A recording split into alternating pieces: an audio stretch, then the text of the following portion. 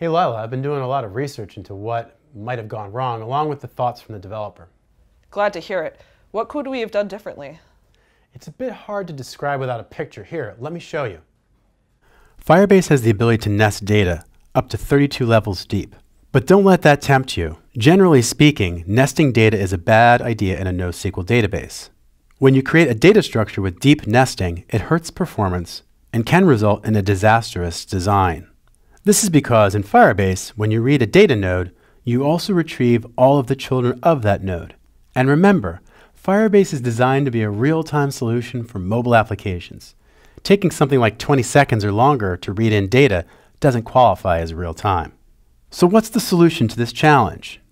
The solution is to denormalize your data, which is basically the process of ignoring how objects might normally be nested, such as having all items contained within a shopping list, and instead focusing on adding some extra data and or regrouping data to make getting the exact data you need for your app simple. This results in queries that have the needed information to return results, but not at the expense of performance. So let's look at a before and after example in Firebase. In Shopping Lists Plus Plus heyday, there was an internal chat application. That's all gone now, but we can still look at the schema. First, let's look at the anti-pattern for this chat app. The chat app had rooms, users, and messages.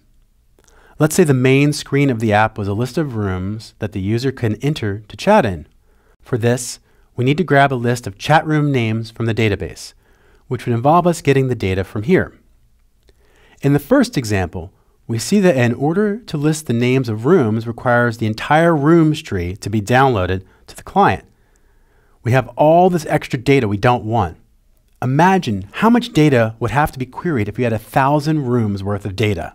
Let's look at a denormalized example. Here, data is split into separate paths, which in turn allow for the information to be downloaded in segments related to what the app actually needs. The list of users is downloaded as needed, messages are fetched separately, and this allows the application to remain performant.